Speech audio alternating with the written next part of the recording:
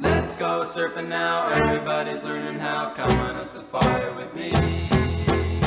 Hello everybody, this is Bski 808 and today I'm going to be doing another video. But this time I'm going to be doing my first video of not a video or a review or a, something of that kind of thing.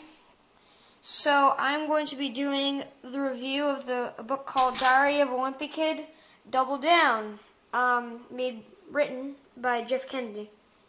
So yeah, excited about this. Let's get right into it. We're on the back of the book now, and we're going to be looking at the um, little message right here. So, the pressure's really piling up on Greg heavily. His mom thinks that video games are turning his brain to mush, so she wants her son to put down the controller and explore his creative side. And if that's not scary enough, Halloween is just around the corner, and the frights are coming at Greg from every angle.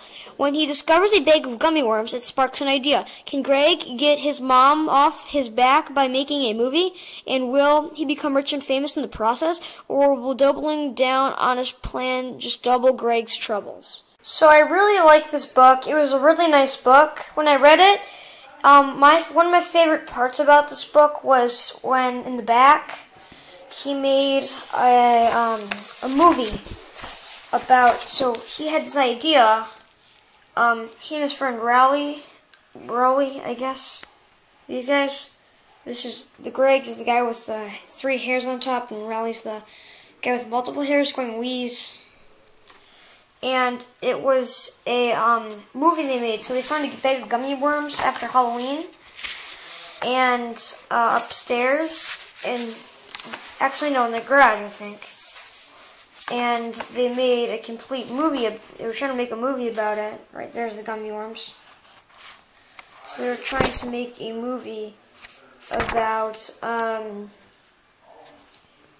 all of the gummy worms and they're invading, but there's only one of the problems. So there's these geese that are around the neighborhood all the time, and they make uh, Rowley climbs up a tree, and then he becomes famous, and